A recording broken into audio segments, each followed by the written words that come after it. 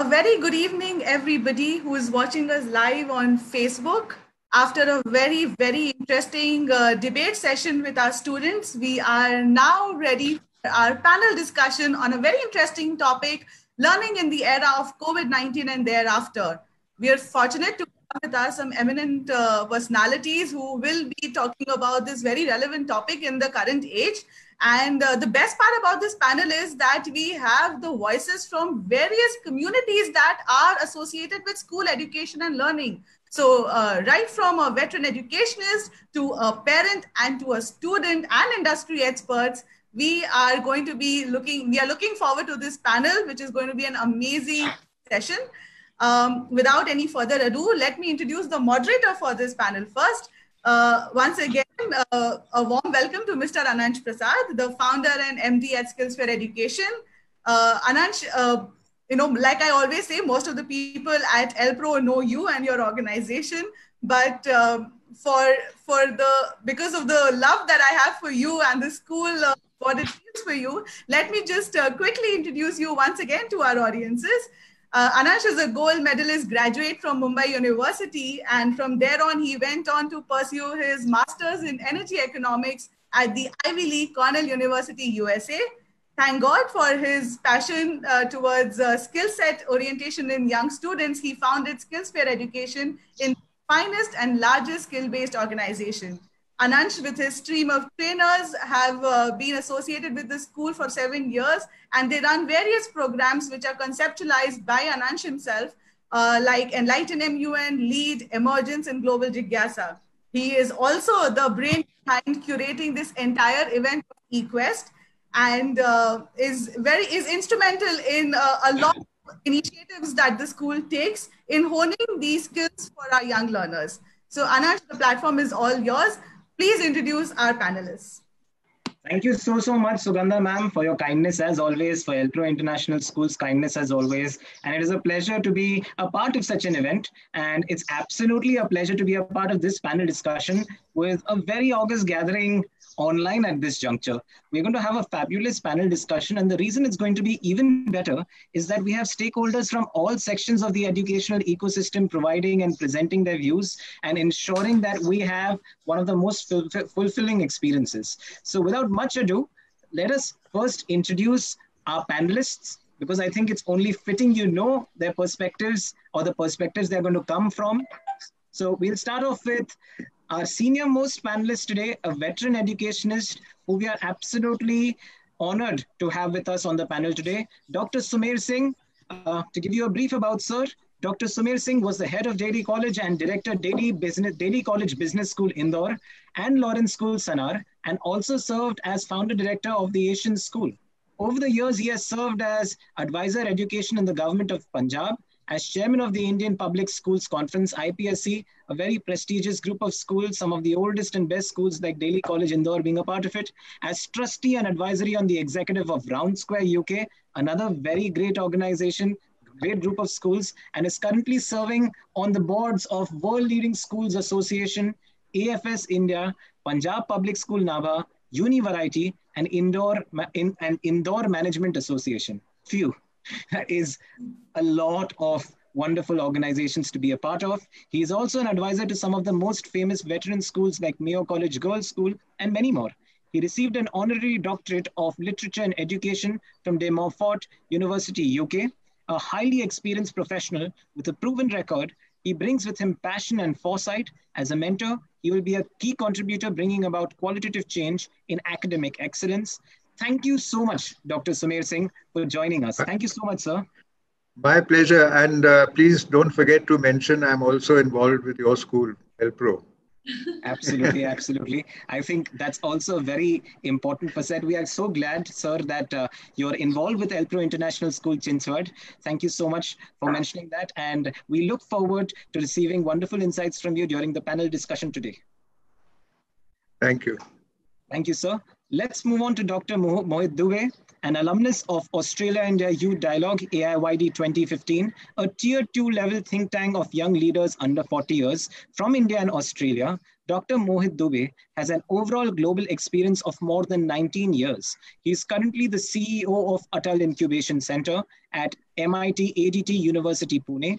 It's a Section 8 company supported by Atal Innovation Mission, AIM, Niti Aayog, Government of India to promote innovation and entrepreneurship across India. Dr. Mohit Dubey, thank you so much for joining us today. Thank you and glad to be here. Looking forward to the discussions. Thank you. Likewise, sir. Thank you so much. Let's move on to Mr. Aditya Shamsher Malla. Mr. Aditya Malla is the general manager of Doubletree by Hilton Pune, Chinchwad, an industry veteran with more than two decades in the business. Mr. Malla has been a part of global brands such as Marriott International, Hyatt Hotels, Oberoi Hotels and Resorts, Starwood Hotels and Resorts, Shangri-La International, and Taj Hotels, Resorts and Palaces.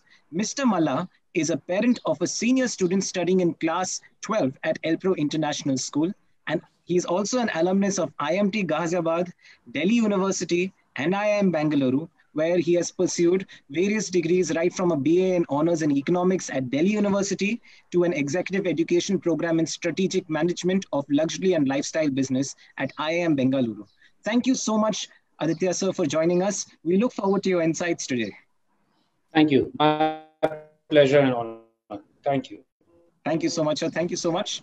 We move on to Ms. Swati Mehta, Ms. Swati Mehta is the marketing director at Innovation Entertainment. She is an extremely creative and enthusiastic individual with 10 years of experience in international marketing, communications, and event management. Currently, she is a hands on mother to a seven year old boy who, as she says, keeps her on her toes.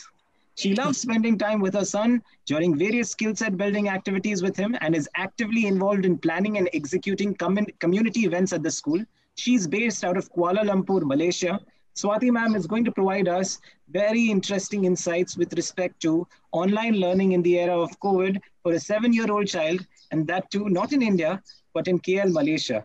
Thank you so much, Swati ma'am, for joining us all the way from Malaysia. I hope uh, we are able to do justice to your presence today. Thank you so much, ma'am. Yes. yes, thank you so much for having me, and I'm looking forward to the discussion. All right, ma'am. Uh, let's move on to Ms. Maya Menon. With a teaching experience for over 10 years, Ms. Maya mentions cognitive and social growth. She was actively involved in educating the underprivileged children. She believes in combining strong passion for English and writing expertise to motivate and inspire children with an aim to create a fun and challenging learning environment. An extremely affable teacher, she often shares with her students the motto of live and let live. Maya ma'am, thank you so much for joining us. And I'm sure you're going to provide the insights of the fun, the trials, the tribulations, and the exciting challenges associated with being a teacher in the era of COVID 19. Absolutely. And it's such a pleasure to be here. I'm looking forward to this panel discussion. Thank you so much for those kind words, too. Thank you. Thank you so much, Maya ma'am. And last but definitely, definitely not the least, Atharva Shitole.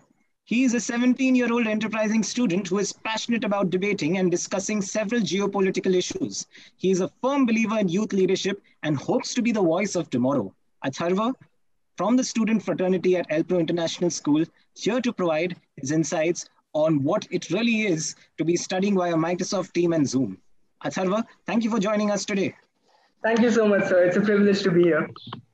All right. So, as all of our audience members on Facebook can see, we have a very diverse panel with us, and I'm sure they represent every section of the educational ecosystem and their views on this burning question of learning in the era of COVID 19. Without much ado, let's jump into the panel discussion. And if you could start off with Sumer Singh, sir. Sir, what are your views? Uh, you have seen it all. I mean, I, I don't think it would be an understatement to say that, uh, you know, you have seen it all over the years. You have seen education transform from purely offline, non-digital learning to uh, a perfect integration of digital learning into educational systems. And today you see only digital learning taking place. So I'm sure you have seen the entire gamut of uh, learning systems that exist. And what is your view on the current situation in COVID 19? Do you think, uh, this is a burning question that a lot of parents actually ask, do you really think learning is taking place via Zoom or Team? I think uh, the topic is very uh, well selected because uh, learning is what you have emphasized on, not teaching. Right. And uh, I think this is actually an era, again, a word that you have used, which is a sustained long period. Uh, and it is something which is knocked off a year of most students' formal education. Uh, so it is something that really needs to be uh, looked at in a very serious manner. Uh, learning is definitely taking place. I think learning has been enhanced because students are now not only getting fantastic online services from the schools, but there are service providers who are providing content, there are service providers who are providing platforms, and they have all become more techn- technologically savvy. Uh, this is giving them the opportunity to explore further beyond what is happening in the academic sphere and therefore they are getting the kind of well-informed general knowledge on topics which interest them. Once this habit forms of being able to explore beyond the beyond academics, it is not something that's going to stop. It's going to be something that gives them self-esteem, gives them self-confidence, and I think it is going to lead to a whole higher level of learning taking place in the schools tomorrow. The unfortunate part, of course, is and I would like to just mention this, that 67% of our students in the country do not have access to online learning. And uh, this is something which is going to widen the gap. Education is supposed to narrow the gap between the haves and the have nots, but this is going to, in fact, widen the gap. And I'm reminded of this story in Himachal Pradesh where a family living in a mud house uh, not being able to afford to be able to give the children even a smartphone to small kids, uh, had to sell their only means of livelihood, a buffalo, for 6,000 rupees to get this phone to be shared by both the children. So it's a stark contrast between the haves and the have nots. Uh, the students whom we are talking about are the fortunate ones in the 33%. And uh, even in the 33%, remember that many of the students, many of the schools, 50% uh, of the schools in the country are private schools, are using only uh, WhatsApp for online learning. Now, that's not really a very satisfying uh, situation. On the other hand, I think this is a great opportunity because whenever the world has gone through any kind of natural or man made disaster, uh, this is being called an act of God, uh, there is development that takes place, civilization moves ahead, there are solutions found, and uh, the same thing is happening here. The two areas in India which were lacking, lagging behind, one was healthcare, and the other was education at the school level. And when I say education at the school level, I mean that many of the schools just went in for boring uh, lectures where teachers who were half uh, asleep had not upgraded themselves. Today, uh, both areas have really boomed. Healthcare has boomed, and uh, not just healthcare as an industry, but even the air that we breathe. And, and, and if you look at education, it's going to create a whole lot of people with initiative, entrepreneurs, who are going to now blossom. So there is an upside to it. Most certainly, sir. Thank you so much. Thank you so much for sharing views on a range of perspectives, right from the fact that enhanced learning is taking place, students are learning new methods of uh, education or are getting exposed to them. You also talked about the unfortunate divide that exists with 67% of India's students not having access to online learning. Uh, you also talked about other facets of the growth of the education and healthcare industry new resources coming in. In fact, I would also like to talk about you know the lack of uh, online learning for close to 67% of uh, India's youth. I would actually like to pose this question to Aditya Malla sir and would like you to share your views. Uh, sir, interestingly, very recently, um, the Gujarat uh, Department of Education, and in fact the Gujarat government, um, passed a very interesting statement. And as a parent, I would like to ask you this, sir. Uh, the Gujarat uh, government actually stated that uh, online learning is not real learning, so schools should probably uh, not charge fee. Of course, the fee issue is an altogether different issue. But I would like to know from you, sir. You have a student in class 12. Do you believe that online learning is not learning? And I would be very happy if you provide your honest views on this. First of all, I'll uh, take this opportunity to thank the whole uh, teaching community uh, for what they're doing. Right? Uh, you know, if you look at the situation and just just step back a couple of months, I would call it akin to an invasion. Right? The situation was like an invasion which suddenly hit almost all of humanity. And uh, among the other things that happened, of course, we had the doctors, we had the administration that stepped up. You must understand that teachers stepped up as the first line of defense in, in, in many ways. And uh, that took one of the biggest concern of parents like us, uh, you know, that that concern was just taken off our backs because the most important contribution that they made was uh, that they upskilled themselves almost to do that. Uh, and, you know, really, uh, totally commendable, very, very commendable job by all the teaching community across the world uh, in India with all the constraints that we have spoken about. The most important thing that I feel that my children got was they got continuity. They continued their association and their connect with the institution that's next most important to them and sometimes more important to them than immediate family. Uh, that that feeling of belongingness continued. Uh, you know, while this whole debate about the fees and how much and where they're not going to school, for me that's a very secondary uh, situation uh, because uh, most important was to see my children engaged, my children engaged with the teachers who they are familiar with. Uh, and the learning is not just about, uh, in my view, it's not about what you what you read in textbooks. It's it's a lot of confidence. It's a lot of the soft skills that teachers impart. And you know, I I, I think I also speak on behalf of the teachers. I, the teachers were delighted to be in touch with the students this whole relationship continued. It didn't it didn't snap. It didn't i mean it, we, we, as organizations couldn't ensure that you know i was i was working very hard to stay in touch with my team members who were in remote corners of the uh, of the state and sometimes the country as well. And uh, you know really uh, I, I, take this opportunity and, and this forum to thank the teachers uh, for what they're doing. And uh, really the fees part is is, is an altogether uh, different uh, perspective. And learning is definitely going on. Learning is going on in more ways than one.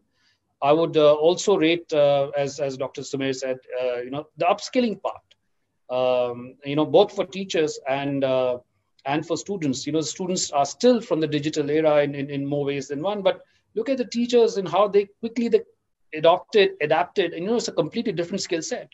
Online education is a very different skill set. And I can only imagine how much of effort and and even cost would have gone into getting the teachers to to upskill themselves and, and continue the, the teaching experience uh, for our for our children. There is never a perfect situation. The um, crisis uh, had to be dealt with, and I think in, in crisis, what you do is you put your best foot forward. And uh, really, um, I'm I'm totally impressed with what what's going on in our country, and I think this is an there's a there's an, shouldn't even be debated. Yes, there is engagement, there is learning, there is familiarity, there is um, a continuity above everything else.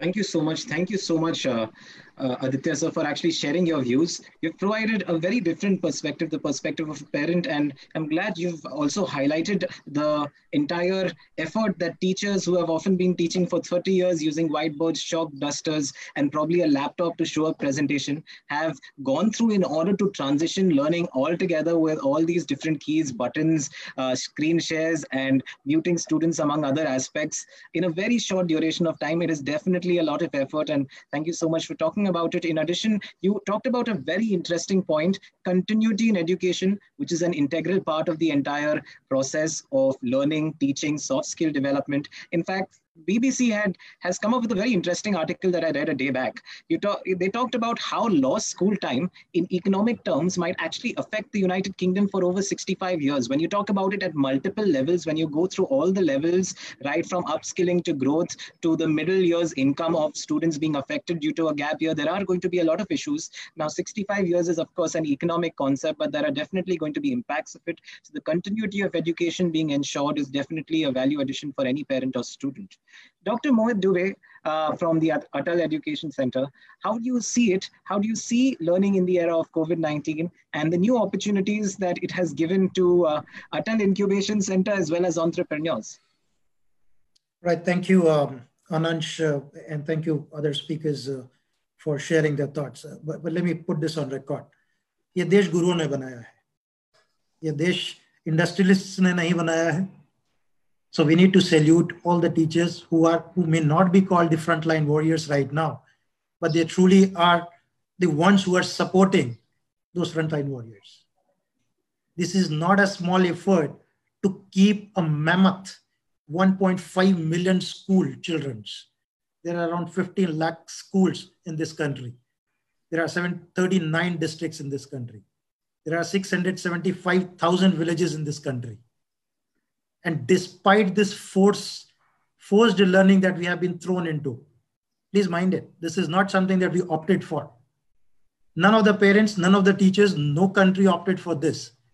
So when we when we start thinking about uh, the migration from an offline to online learning, you know, we keep on we keep on uh, uh, uh discussing about how quickly we moved on to the online bandwagon. But as uh, uh, Dr. Sumer Singh was kind of highlighting a, a tip of an iceberg of the problem that you're losing 67% of the country's uh, young, bright children uh, devoid of the learning that they could have got in the schools. When Zoom was banned from the Ministry of Defense, you know, they put together a challenge from the MIT, you know, the Ministry of Electronics and IT, uh, to, to submit the proposal for India voice conferencing tool. And the challenge, I tell you, when we started, I put startups to uh, uh, you know submit the proposal on that, we were looking at creating a VC tool which sits on the India stack. What is India stack? It's Jan Dhan, Aadhaar, and mobile. So just look at that whole technology revolution that has happened in this country for in a last decade. If there was no Aadhaar, we would not have dealt this situation in the way the gracefully that India is dealing with. If there was no accounting there was no you know bank accounts that were opened in the last 10 years uh, in this country people would not have got their dbt transfers done. Had there been no penetration of these mobile markets uh, we would not have seen uh, the, the response that this country is giving to this whole online learning that we call. And, and mind this this is despite that 67% of the uh, uh, community that uh, dr Sumer mentioned about. Now you talked about the schooling part of it, right? I, I, come from a hardcore banking background. You know, when we were in, in the early 2000, when we were building applications for the banking community, there was a term called we, we want banking, but we don't want banks.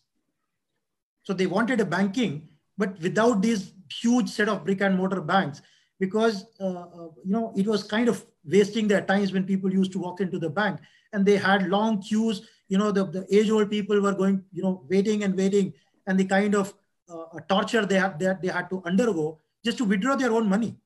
And that's how you, you started building a lot of these systems to reduce the dependency of the janta, arm janta on the banking infrastructure. But that was a, a well-planned activity. You know, the world moved from that brick and mortar banking towards removing the banks and started providing those banking opportunities. And that's why you, you build some phenomenal banking systems. And now, you know, you have these Paytms uh, who are just the payment banks kind of thing. So, so that whole two decade of that journey of removing the banks and, and providing the banking in the hands of the users took two decades. Now just consider that same thing. Now we are into that similar era where the not just the country, please mind this, and, that was an effort where the country wanted to migrate from the you know bank to a banking kind of an environment, whereas here the entire world is caught up in the uh, this pandemic together. So there is no no country in the world which can say we are safe, we are doing okay, we can provide support to the other guys, right? If if if some pandemic has occurred, say in uh, uh, Southeast Asia, uh, you know, uh, other countries were still up and running, so they could support that. But this time, this this pandemic has impacted everyone, and that's where this whole opportunity of of building this whole technology layer. And let me not mince any words. The last draft education, the, the last education policy in this country was rolled out in 2005. And for last two years, we are still debating in the next draft national education policy. On the other day, we had uh, Dr. Kasturi Rangarajan at, at our uh, uh show at MIT ADT, and, and he, he, was fantastic in putting it together, the pieces of the puzzles for this new draft education policy. But look at the implementation, the go-to-market that we talk about in the, uh, you know, in the, in the startup world. That itself has taken around two, two and a half years. So if the policy at the government level itself is taken around 15 years to come up, you know, and, and education, mind it, has been the most underinvested domain as far as technology investments are concerned. Even today, if you want, if you ask me, the best of the best Indian institutions, if I go and walk up to their data centers or the servers, I can tear apart. I, I can do ethical hacking right from my lab to whichever institution you tell me. So that's the, because that as a focus, we were never trained to create that tech infrastructure to run these systems. You know, the immediate reaction that all of us went into was, oh, boss, how do we migrate these classes from an on, offline to an online classes kind of mode? And that's where, you know, people were kind of figuring out what are the free tools available, the Zooms, and the Teams, and the GoToMeetings, and so on and forth. And Dr. mentioned about the WhatsApp method of uh, teaching as well. You know, nobody used WhatsApp for teaching learning process, right? People were using WhatsApp for sharing jokes. And we thought the younger generation would increase their attention, attention span with the uh, advent of technology. Right. We were all wrong in the technology front, right? So we are, we are looking at the era when we are saying, how do we take this schooling as, as for the next decade? How do we build that schooling component when we are looking at that the physical uh, schooling, a physical schooling will not be possible for the near foreseeable future. So it's, it's that moment of how do you see that the schooling can be built for next decade or two decades, uh, and, and how do you uh, phase out these school infrastructures uh, from that whole schema of things. Right, right. Thank you so much, sir. So, so talked about how we can actually complement the existence of existing schools infrastructures and slowly, slowly transition into the next decades or three, two decades of learning. So, thank you so much for actually uh, sharing your views with respect to that. You know, the new innovations that are taking place. You drew analogies to the entire. Um, the entire revolution that took place in banking and the revolution that many schools are instituting with respect to learning thanks to COVID-19. So thank you so much for sharing your views. Swati ma'am, you are the mother of a seven-year-old child, uh, a child who probably, you know, takes a little bit of time to ensure attention span even in offline schools. How have you seen uh, the entire transition online and especially in Malaysia? Yes, well, I am a mother of a very boisterous seven-year-old son, so he he his attention span definitely is very less. And um, well, I'm really really glad and I'm happy that uh, the shift from um, the physical class to online uh, happened just within a week, and it was okay. We did have our own learning curve, and um, I mean the kids did take a bit of a time, the teachers did take a bit of a time, but that was just one week, and that's commendable on their part. And uh, you know, I also feel that with the whole pandemic situation, the whole lock- lockdown that it came, I think it's it's also a story that we'll tell to our future generation that you know we were hit with a big problem. We didn't stop there. We didn't say, "Oh, schools are shut. What should we do now? We should stay home. We can't do anything." But we went forward. We took out a solution, and we all came up with it. And we all did realize that okay, there are certain hurdles, but we need to overcome them. We just can't sit down and say, "Oh, there's no school, so why don't we just do this and why don't we do something else instead of that? So that I definitely believe was a big learning for our kids, and um, and yes, I mean there is a lot of a difference in the physical school and uh, teaching online to a seven-year-old, especially to the primary section because the attention spans very less, and it has to be almost like a homeschooling thing because uh, we, we did have a 8 to 3 structured class online where we did have Zoom sessions with the teachers, which were almost about 20, 20 minutes to 40 minutes. But when they were introducing new concepts, concepts in terms of in maths and in science, they would do their teaching and they would give us assignments. You can't expect a seven year old to just listen to a 20 minute lecture and do the assignment. So it had to be, it's more like a hand in hand uh, session with the teacher and the mother or the father sitting with the kid because the kid cannot take card printouts, he cannot fill things, he cannot take a picture, upload stuff, and just send it across his assignments. So I feel that, um, I mean, it, it definitely must have been hard for parents who both were working and or probably who had more kids. Definitely, it has been hard for them. But yeah, it was not like just the just the, the parents could do one thing. Yeah, it had to be together with teachers and parents.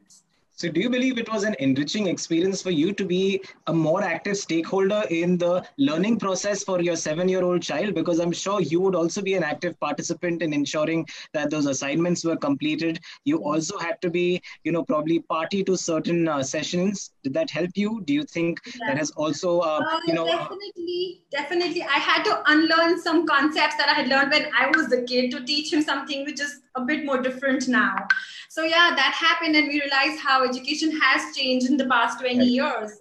And um, you know, I mean, in a prime in a primary student's life, we we see that they've learned over a period of time. We can see their vocab has changed, or maybe they know about counting and things, but we don't know what they're doing on a day-to-day basis. True, but when true, I was sitting with my son and I was attending the Zoom classes, I would see, okay, I could see some tangible things that he was doing. He was learning every day. Do you think this is sustainable? If I might ask you, do you, you think this is sustainable? I'm so sorry to cut you, but do you believe that this is going to be a sustainable outcome post COVID 19? Do you think uh, you know parents will be able to ensure this even when school transitions offline slash online offline? I think it depends. I cannot say yes or no. There's no fixed answer for it. It depends on uh, the course that you're doing, A and B, on the age of the child. Right, right, right. Yeah. So um, probably for a primary section, I think it has to go hand in hand. It cannot be just a physical class or just a Zoom class.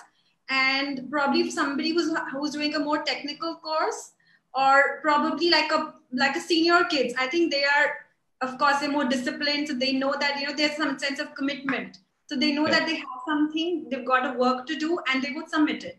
But I can't expect that kind of a commitment from a seven-year-old. Right, got it. Thank you so much, Swati ma'am, for providing your views on this. Let's actually talk to the teacher in the panel discussion. Ma'am, I'm sure it's been, uh, you know, a gargantuan task for you uh, for every I absolutely respect every teacher.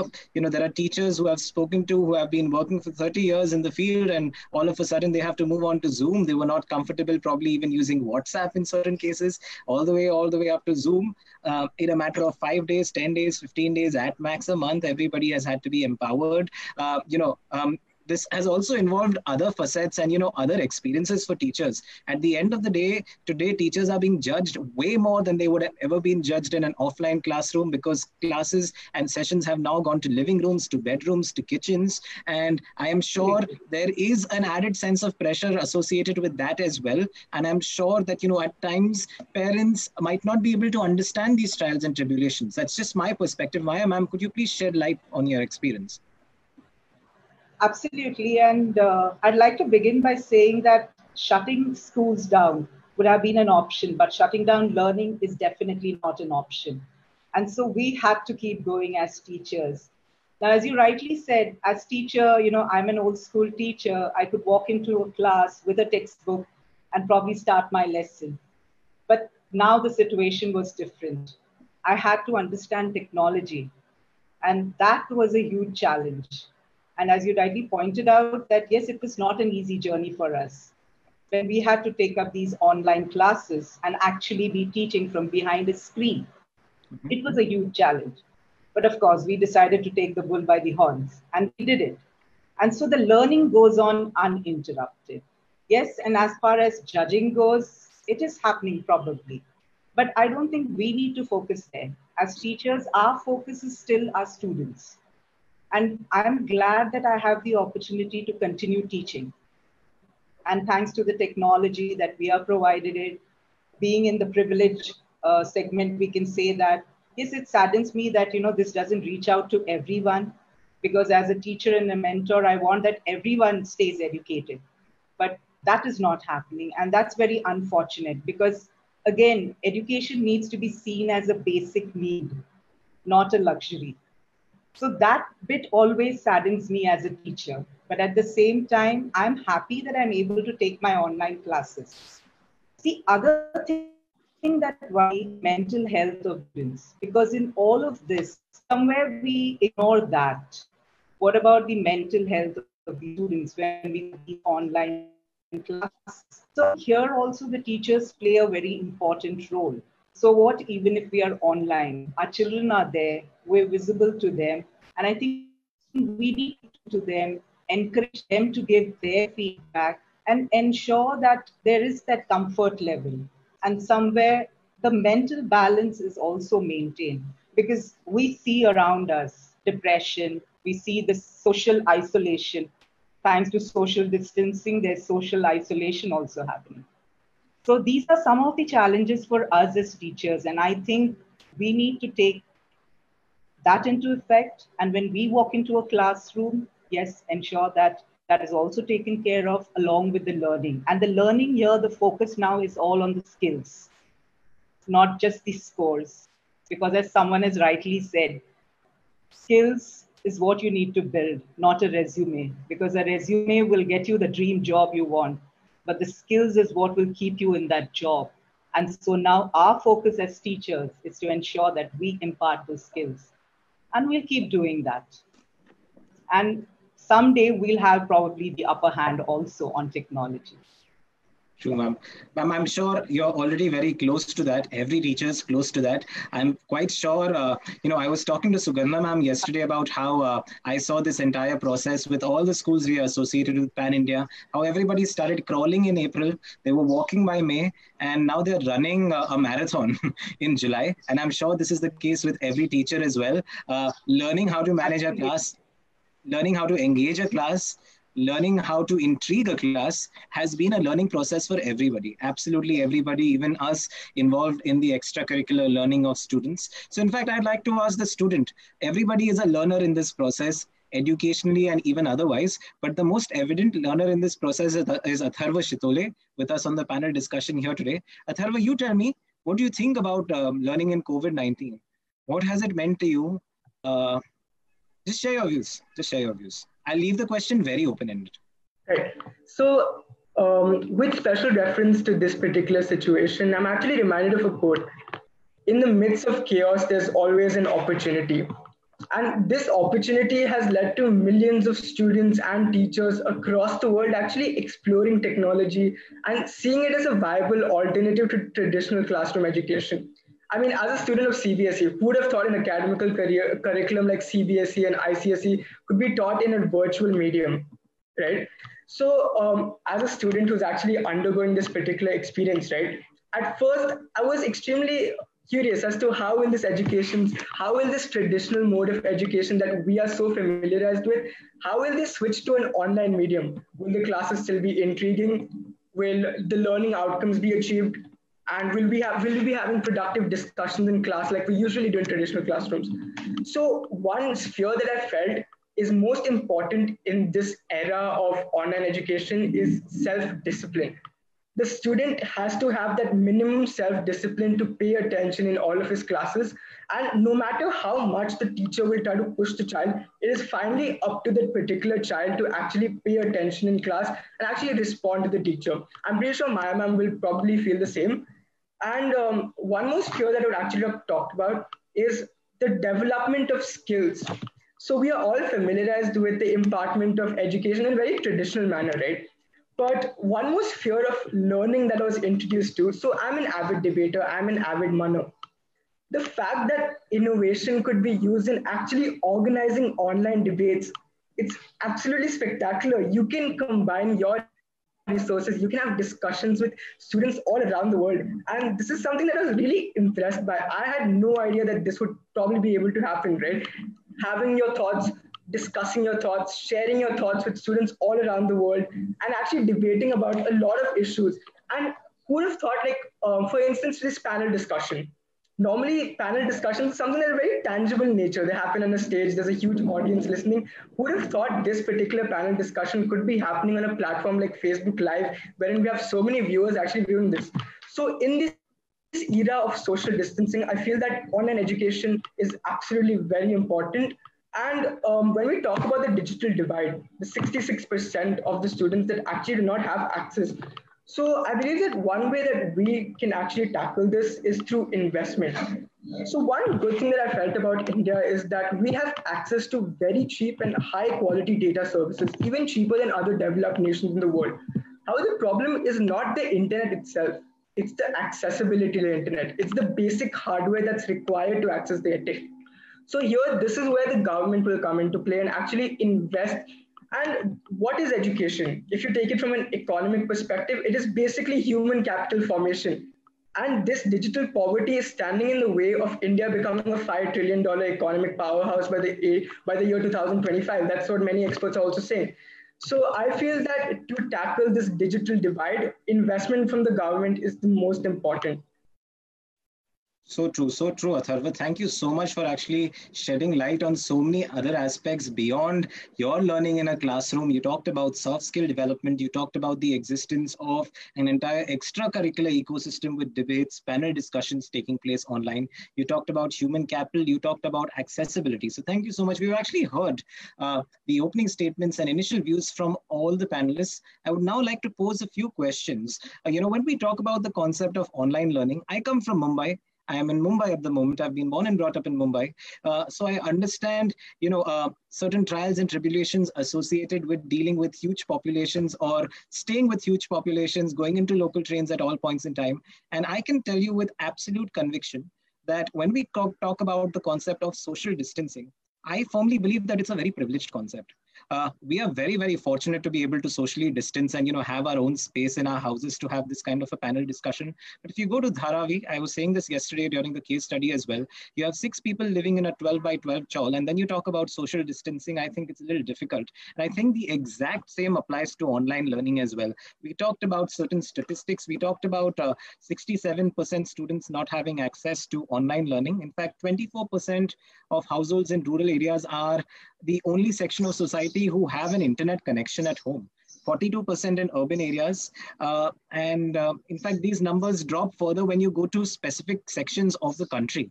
So it is uh, definitely a concept that is still growing. And what I'd actually like to tell you very interestingly is you'd be very surprised to know that uh, when we talk, to, talk about the whole concept of online learning, when we talk about the entire concept of being ready for pandemic induced education, one of the countries that was most prepared for it is probably a country that most of us have not heard about before. The World Economic Forum mentioned that it's Sierra Leone.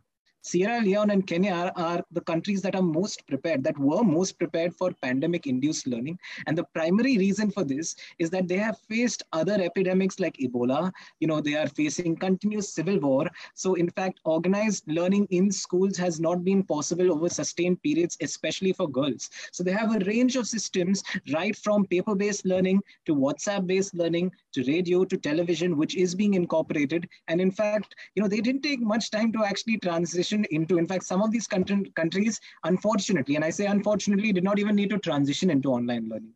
They already were learning online. So we are now going to the next question of beyond COVID-19. Um, I would actually like to ask you, Sumer sir, how do you believe this will actually re result in the digitalization of education? I believe that will probably open out more avenues for more learning for more students who don't have accessibility even to government schooling. How do you believe that certain facets can be incorporated both into developed and great schools like EIS and other government schools in general? I I would first of all, just if you allow me, mention, uh, you know, what Maya said, that well-being of teachers and well-being of students is something that we must really look at more seriously. Uh, I tell you, it's not been such a problem in India, even though youngsters are social animals. They're not used to being cooped up at home. They're missing their friends. They're wanting to be able to get connected. But the teachers, and I'm uh, involved with teachers in, in maybe over 100 countries, uh, India has performed much better than outside. And all the reports I'm getting from principals of schools and directors of schools abroad, they are having a major problem getting the teachers to work as hard as they're having to work now and to upgrade themselves. The Indian teachers have done it beautifully. you know, they, they've really, uh, they're working way beyond the number of hours that they used to work. And, and they're doing it quite, quite willingly. So this is an advantage we have. But yes, it is to answer your question, this is going to uh, continue. Uh, more and more people are going to have to have accessibility to the uh, to digital learning, and it is something which is going to go hand in hand with physical classrooms even after they reopen.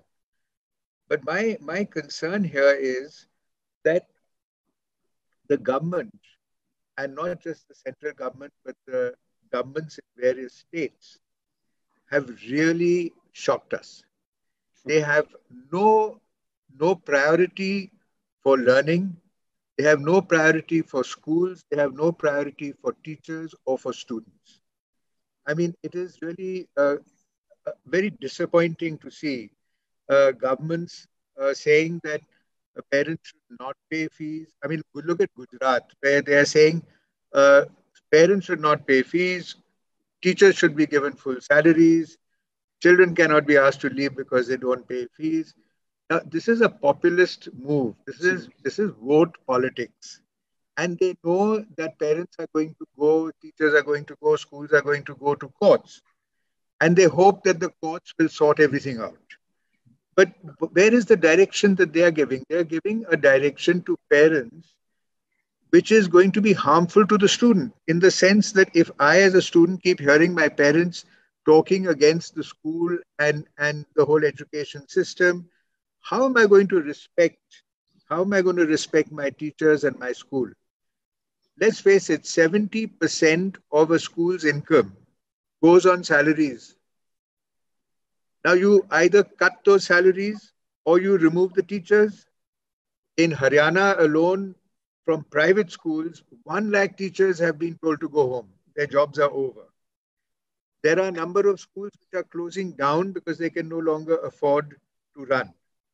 So I, I, I really am, am surprised that the government, that the politicians are hoping that the courts will sort things out, but they carry on with their populist politics. This is really of concern. What Atharva said, that government should be pumping money into into digital learning. They should be giving a wider platform to people who can't afford it. I think that is very important. What he said is, is absolutely correct. So how do we get the government? They don't even, it's not even mentioned. They, there's not, no concern shown by any chief minister or any, or the prime minister or the education minister on what is happening in the country. So salute to the private schools Salute to the teachers and salute to the resilience of the students who have actually responded so well to online learning. It's never going to stop now. It's going to go hand in hand with physical classrooms. That's the question you asked me. Thank you so much. Thank you so much for actually shedding light on a lot of aspects of populist measures, populist opinion, populist discourse that is taking place, apart from the fact that, yes, digital learning is going to get integrated and the effort that our Indian teachers have made in spite of so many trials and tribulations beyond the classroom and naughty students like Athar.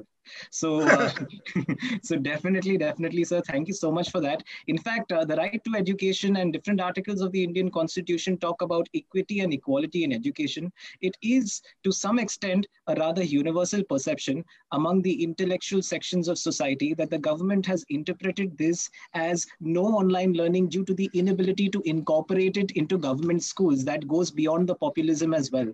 Dr. Mohit Dubey, may I please request you to share your views on this and you know what do you think the government should be doing? I do know that uh, you know uh, we are in this situation as well at this point in time.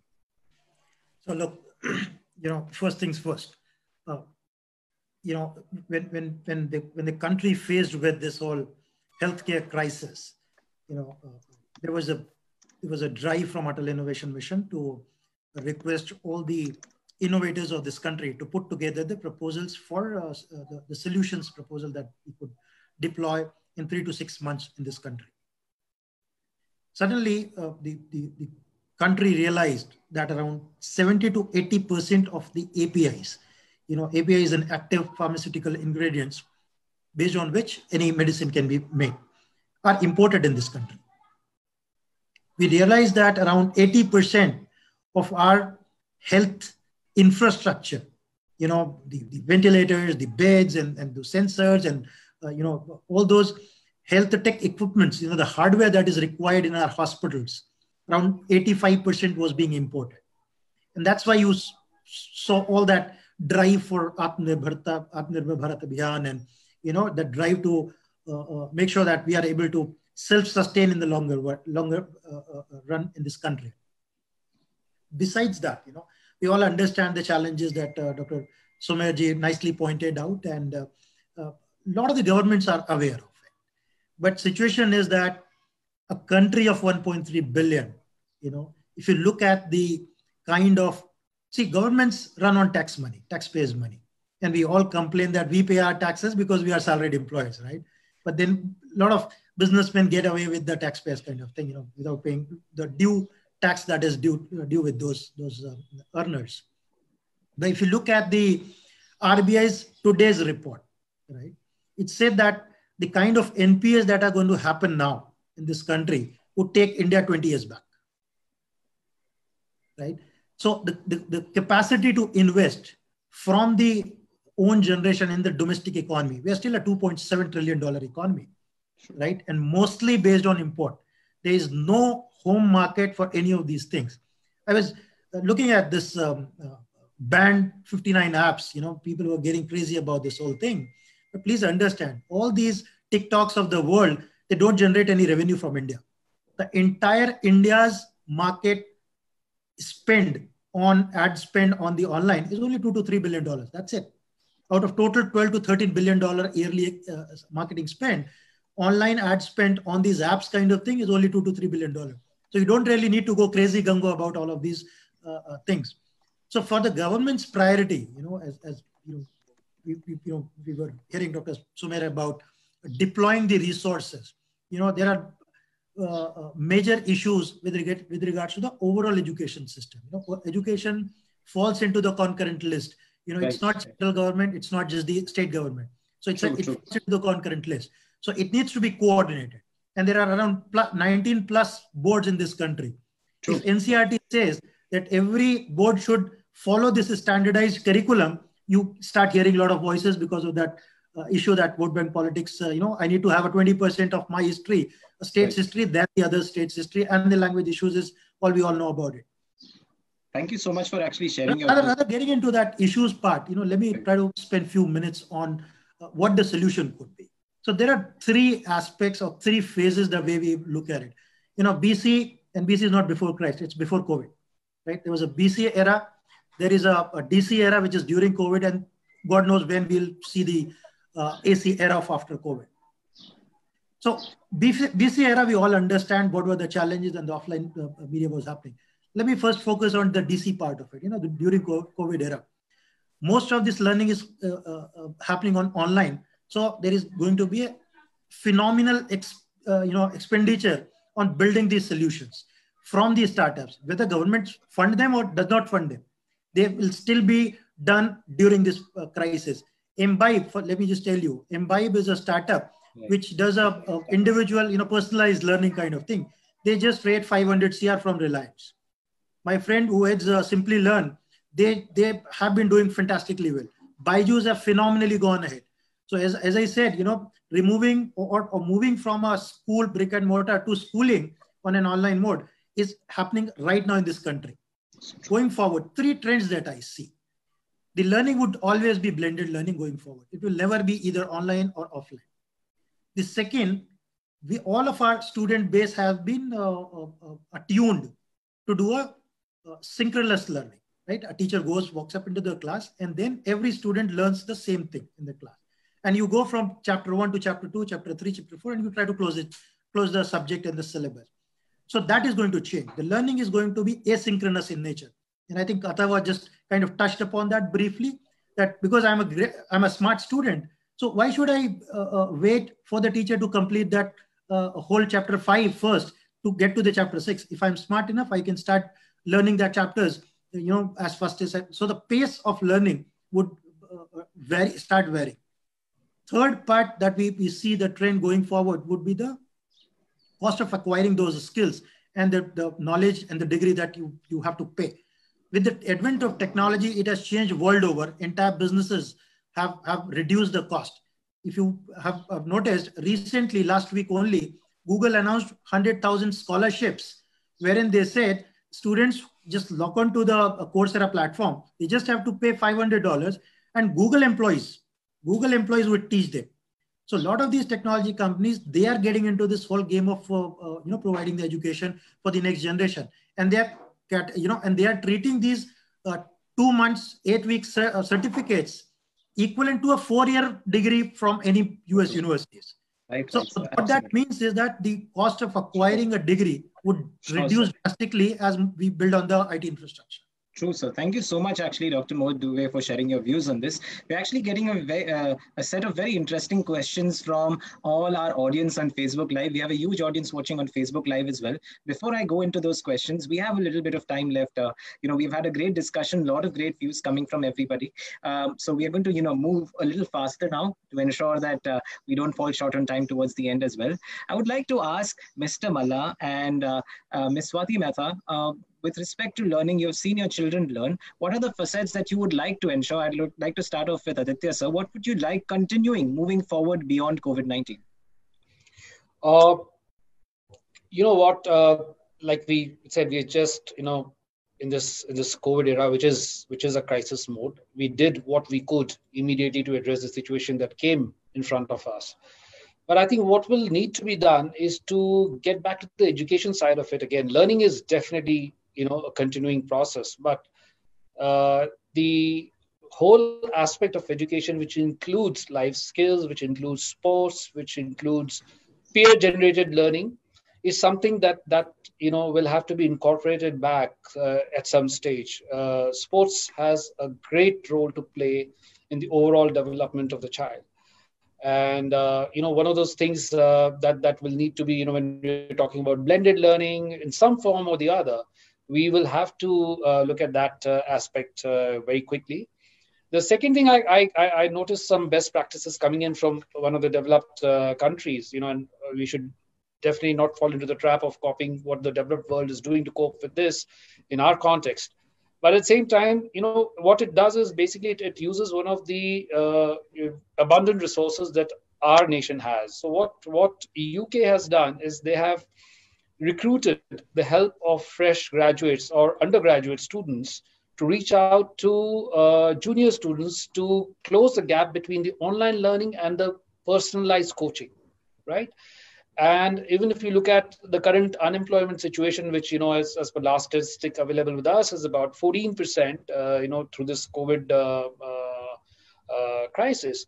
Um, if we were to look at a solution uh, and not wait, I mean, with, with due respect to Dr. Mohit uh, Dubey, you know, not wait really for the government to do something about it. If we were to kind of recruit the help of these available resources uh, and, and get them to close this gap in the personalized coaching, because that synchronized coaching aspect, like you said, uh, Dr. Dubey, you know, was a different environment and the children are, are definitely learning the, the, the concepts are going through but they have immediate doubts they have immediate uh, uh, situations their own imagination there's a there's a bias of their own that, that they incorporate while learning. So that needs to be that bridge i think needs to be closed and uh, we could use resources available within our country in the current context and and uh, skillfully and productively employ those resources to close the education gap. So on one side, I'm talking about the sports, the physical activities to prevent long-term damage to their health. And the second side I'm saying is that, that personal contact, closing the gap, you know, as we call in our business, the last mile connectivity between the, the teacher and the and the students is closed by these uh, community-based, uh, you know, uh, teaching experts who are basically fresh graduates or undergraduates for that matter. Thank you so much. Thank you so much, uh, Mr. Malla really great insights with respect to a lot of different facets of online learning, synchronous learning, learning through private coaching. Swati, ma'am, your boisterous seven-year-old child, what do you think he should continue doing online post-COVID-19 on a lighter note? Um, yeah, one of the reasons why we choose uh, school and not homeschooling is that, you know, the kids, when they go to school, it's a very overall growth that they get there also the social skills the emotional skills and not just the education that happens you know in the school so um, i personally feel that the school the physical school and online classes have to go hand in hand it cannot replace one and uh, replace each other and um, definitely yeah All right. Thank you so much. Thank you so much, ma'am. In fact, uh, anybody willing to ask, wanting to ask questions, we have a barrage of questions. Sumer, sir, you have uh, you're laden with questions, in fact, and I will get to them one by one. Uh, all the other panelists as well. There are a lot of different questions that are coming your way. I have a question to ask Atharva. One of our audience members has asked, actually asked this. As a student of class 12, are you not worried that no physical school will hamper your preparation for the board exams, Atharva? All right. So um, with special emphasis on the curriculum, right, the CBSE curriculum, there's both a theory aspect to it as well and a practical aspect as well, is my mom knows. So let's take the example for chemistry examination. We both we have a theory paper as well, and we also have to conduct certain practicals, right?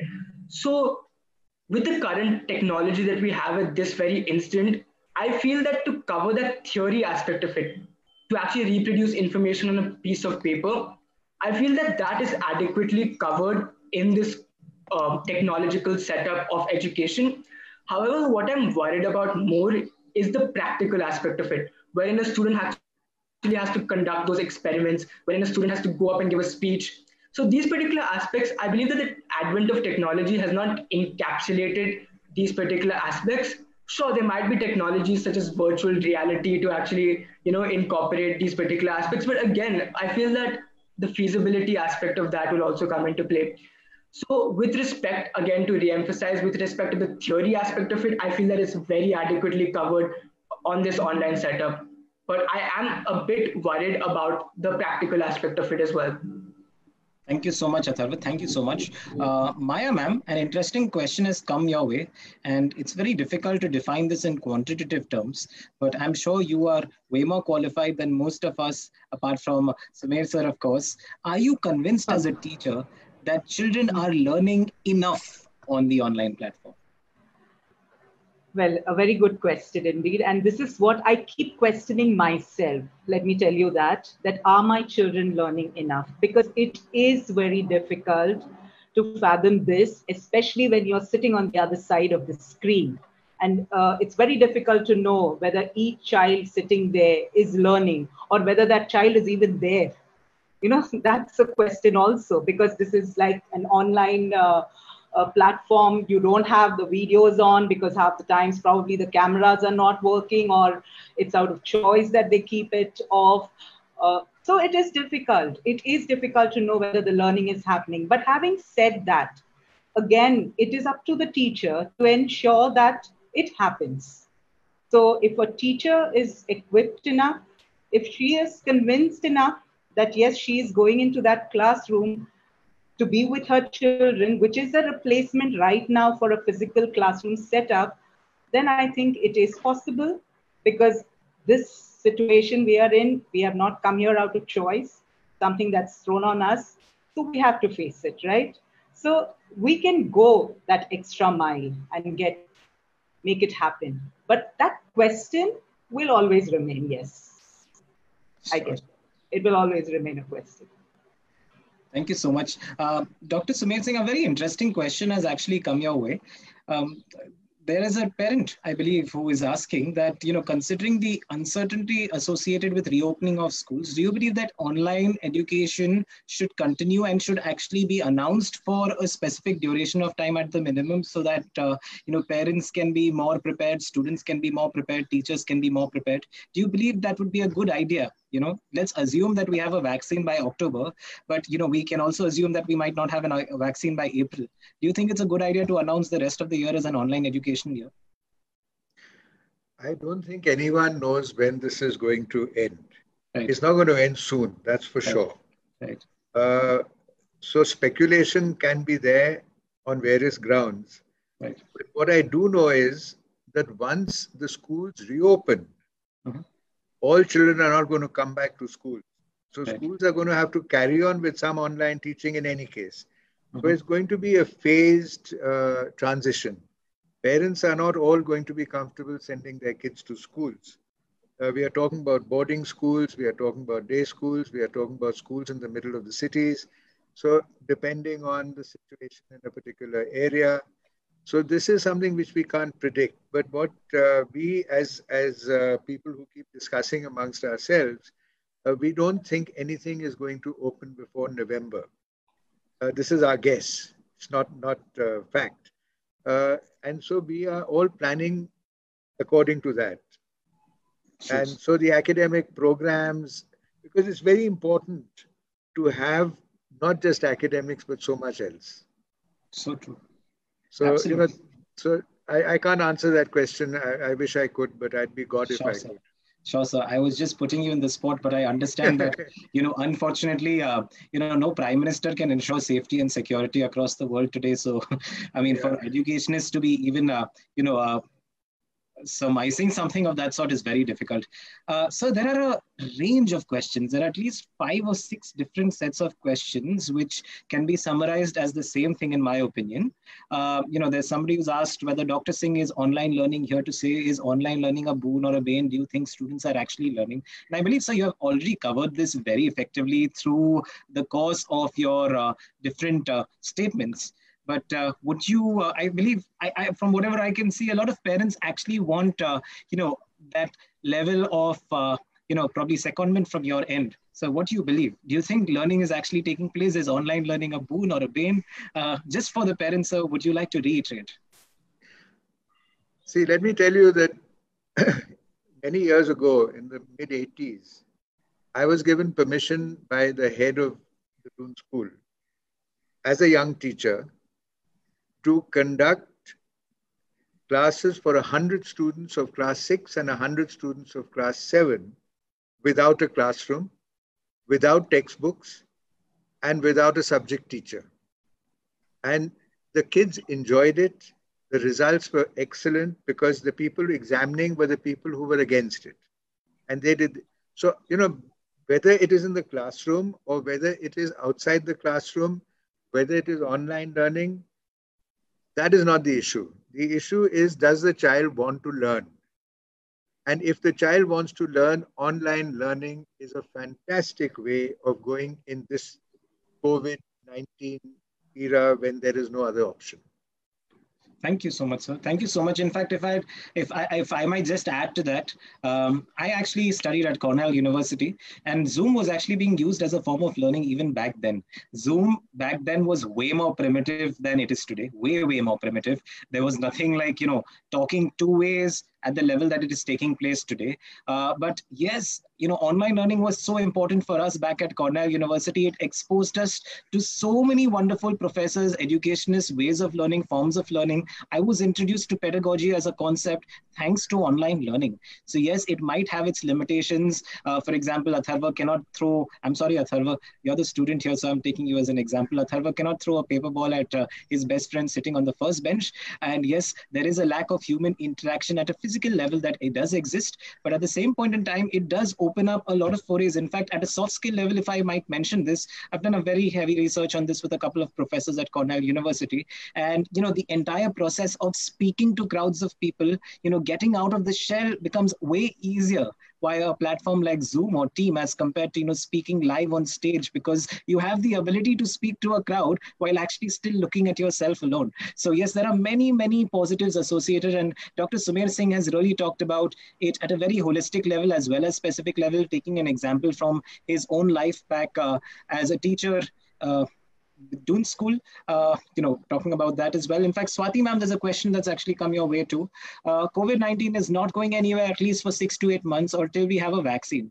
In simple words, would you want the online classes to continue? And in simple words, actually the parent has been very clear about it. In simple words, do you want them to continue or do you want to, you know, just prefer uh, uh probably putting your child into a couple of classes online outside of school?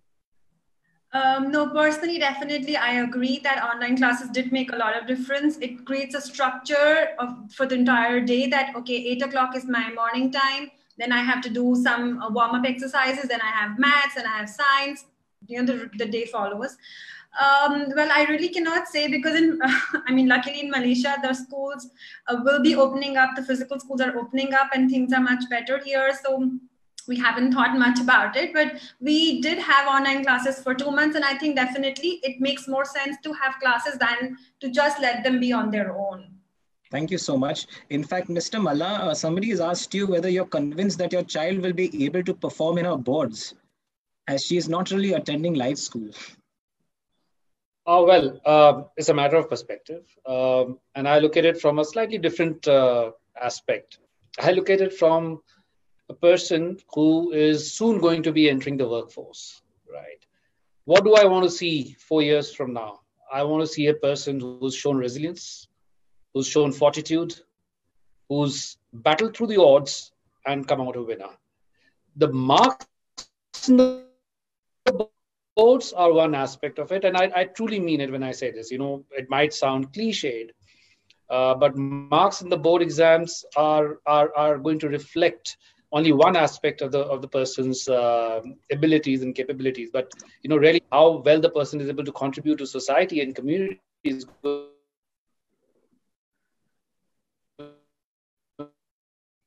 I think sir is I think sir is facing a slight network issue, uh, but uh, depend upon how the per, uh, who are going to be far more successful, far more successful.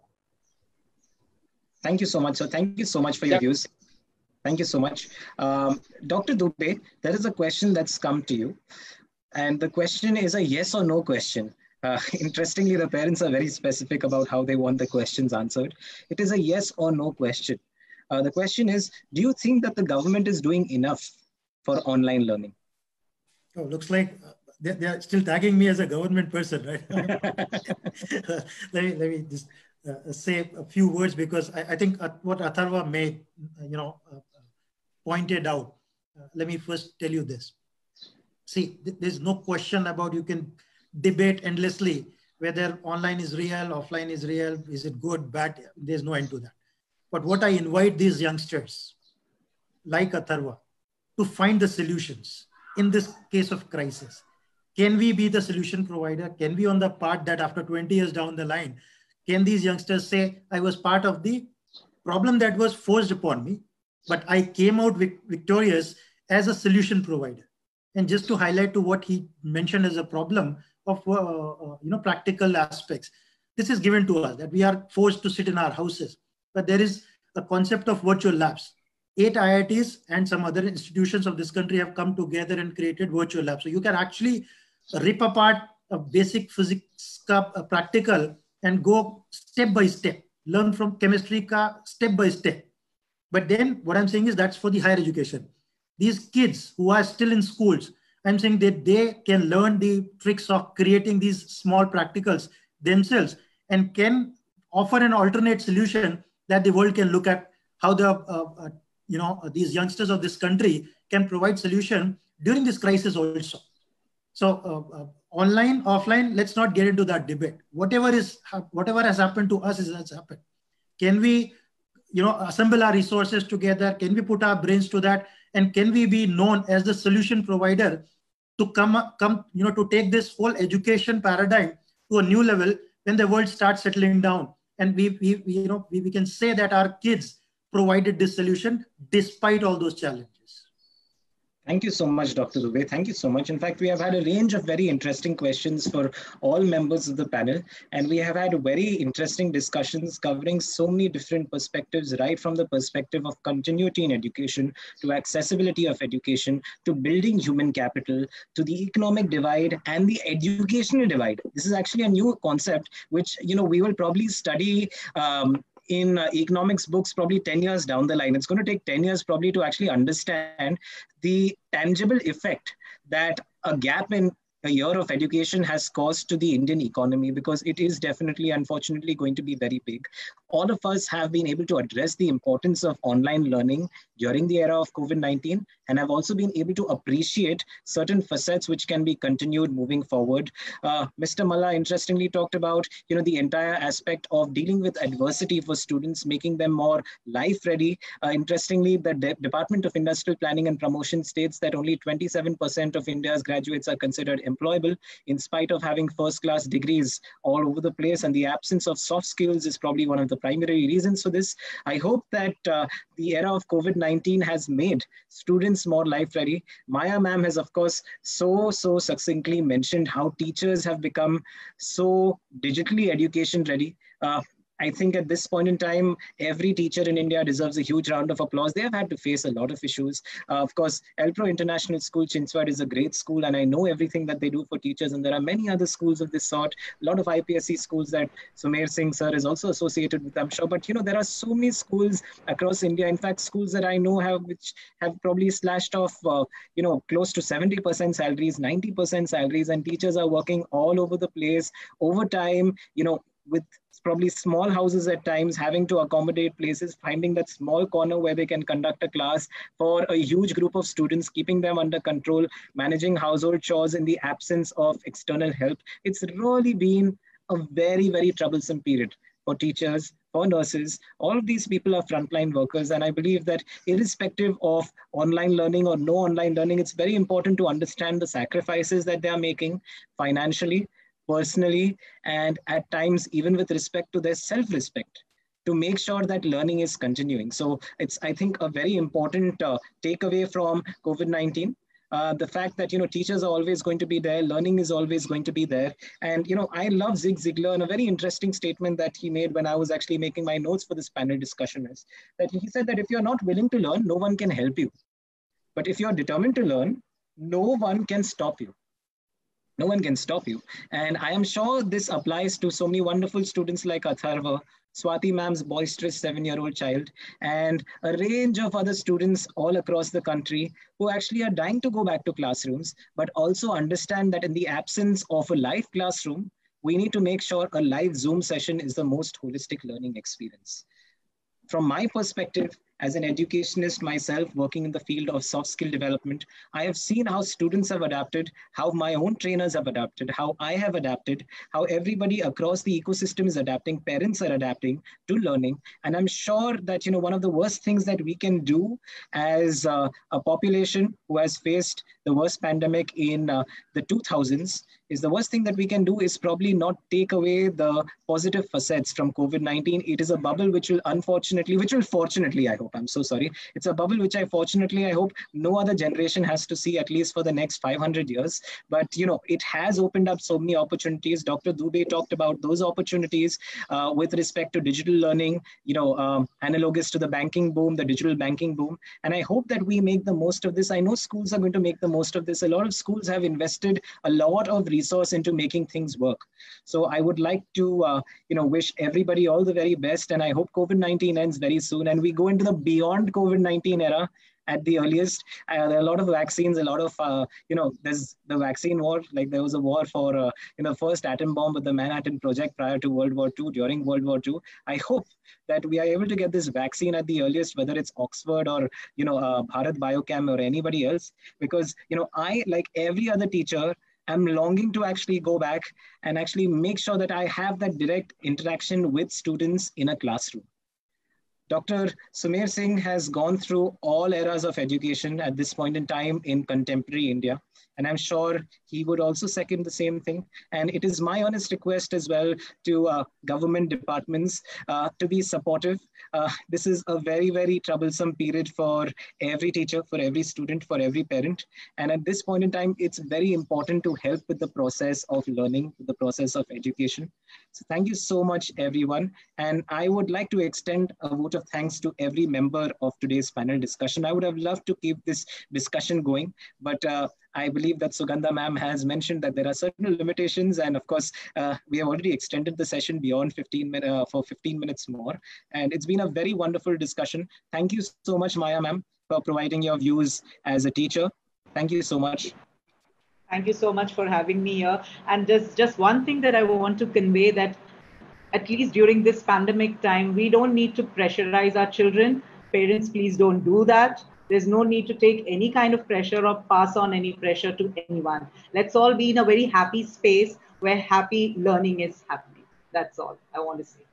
Thank, Thank you. you. so much, Dr. Sumer Singh. Thank you so much for joining us today, sir. Uh, having views of a veteran educationist like you have uh, has also, you know, really uh, provided a lot of food for thought to parents. So you would be amazed with the number of questions that have come your way. I've just tried to summarize all of them may I may I make one statement? Please, please, sir. Please, please go yeah, ahead. Okay. I just want to remind uh, parents that uh, if you look at the independent studies done by Harvard University, Stanford, Carnegie Mellon, they talk about your success in career depends 75 to 80% on your soft skills.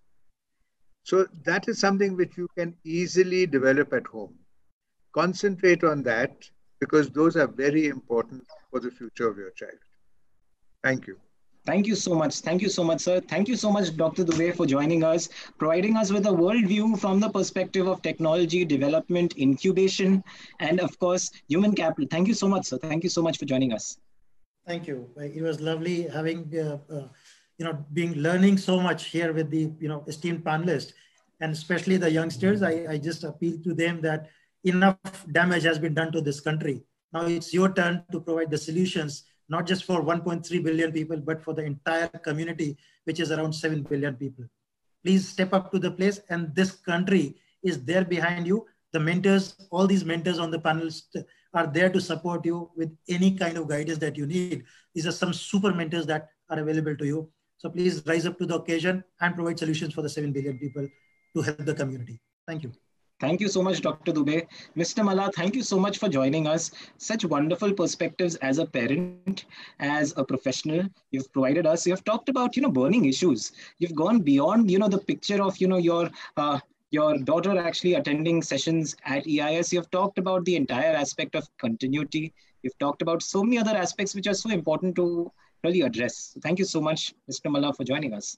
My pleasure, Tari. Thank you. Thank you so much, Swati ma'am. Thank you so much for sharing your views all the way from Malaysia, talking about how it was to, you know, be a part of the entire process of education at more direct levels with your seven-year-old child and, you know, helping him out with the few assignments that you probably have as well. I'm sure it's been an enriching, enhancing, and engaging experience for you. I just wanted to say that we are a generation of almost like a bulldozer parent where we try to remove all the obstacles for our kids so that the kids can have the best of the things possible. Let's not do that anymore. And let's not do the work for them. Let them also learn more and not, not stress about if they're learning enough through the process. This is also kind of a learning, surviving in a pandemic. Absolutely, absolutely. In fact, there was a very interesting statement that I read by one of my favorite uh, educationists, Henry Giroux. Um, I love uh, the educationist, uh, one of the most uh, path-breaking educationists. Um, and he stated, uh, in very literal terms, he said, the biggest, pay, the biggest gift that a parent can give to his child or her child is to make sure that the parent is not the child's biggest punishment. That's very true. Right. So uh, Thank you so much for that. Atharva, I think you have impressed everybody on the panel. You've impressed all audience members with your ability to provide such a worldview, such a balanced view. Thank you so much for joining us, Atharva. And uh, I'm sure that a very bright future beckons. Thank you so much. I would just like to end with a quote by Nelson Mandela. Education is the most powerful weapon which you can use to change the world. And I'm pretty sure the youth of today will change the world tomorrow.